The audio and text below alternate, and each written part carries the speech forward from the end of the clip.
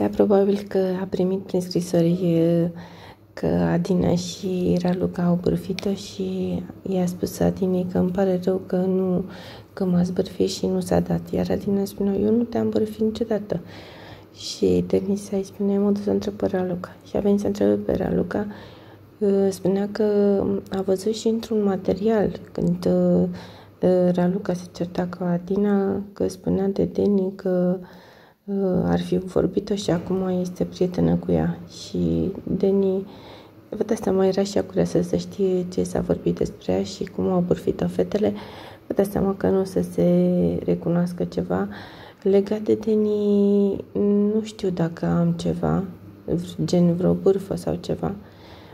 O să mă uit și eu prin ce am primit, pentru că știu că sunt scrise așa cu titlul la fiecare video pe care l-am și o să mă uit și dacă găsesc ceva am să vă spun și am să vă reamintesc.